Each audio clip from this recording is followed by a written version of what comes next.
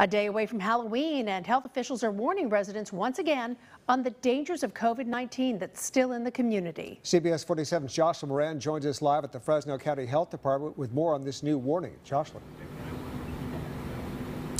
Well, interim health officer Dr. Rais Vohra today saying our goal is to make it into the least restrictive tier, but Fresno County still has work to do. And with holidays like Halloween, there always is a concern that cases could surge that um, if, if we if we have unregulated gatherings, if people make poor choices, if they don't wear a mask, if they choose to be indoors um, and, and, have uh, big packed gatherings uh, in closed spaces, uh, that we will have um, just a very rapid rise in the number of cases that we're detecting. With Halloween just hours away, Fresno County Interim Health Officer Dr. Rais Vohra today saying he hopes people are getting the message, that they choose to follow guidelines and that they think about the impact of their choices you are going to interact with people outside of your household, that you really take that extra step to say, you know, am I doing this wisely? Am I doing this safely? Am I doing it in a way that will protect my family and also protect the people that I'm meeting up with. At Spirit Halloween in North Fresno on Friday afternoon, several people going in and out. Sanger residents Juliana Ramirez and Nathan Padilla say they've decided not to go trick or treating this year with the kids for safety reasons. I feel like a lot of people aren't going to really be like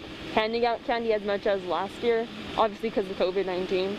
So we're just going to stay at our house and just do our family, immediate family. And in Merced County, the director of public health urging residents to stay distanced, wear masks, and be responsible. It's a very real disease that affects everybody across all walks of life, every age demographic, every color. We're seeing things that we didn't expect at outcomes.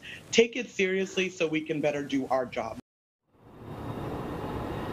And some of these guidelines for Halloween include if you are going to gather, limit it to no more than three households, wear your mask, and keep it outside. Reporting in downtown Fresno, Jocelyn Moran, CBS 47 Eyewitness News.